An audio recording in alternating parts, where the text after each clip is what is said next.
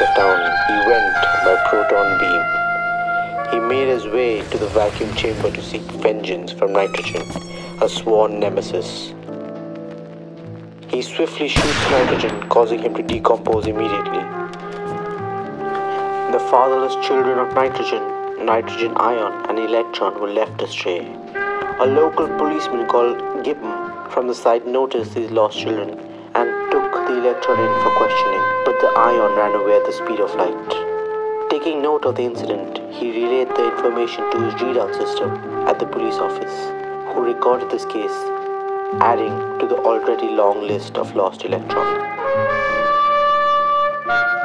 Eventually, the guilt of killing an individual weighed heavy upon Proton Beam, causing him to deeply reflect upon himself.